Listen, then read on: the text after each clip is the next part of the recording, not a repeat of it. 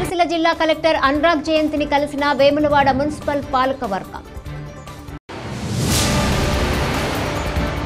అనారోగ్యంతో మరణించిన హోంగార్డ్స్ కుటుంబాలకు అండగా నిలిచి ఆర్థిక సహాయం అందించిన తోటి హోంగార్డ్స్. అభినందించిన రాజన్న సిరిసిల్ల జిల్లా ఎస్పీ రాహుల్ హెగ్డే.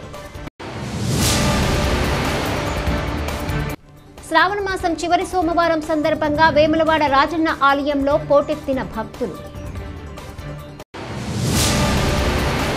గణేష్ మండపాల ఏర్పాటుకు పోలీస్ క్లియరెన్స్.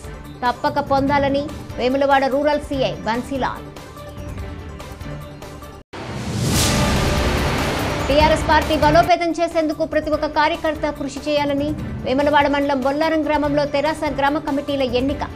ముఖ్య అతిథిగా హాజరైన గడ్డం హనుమండ్రు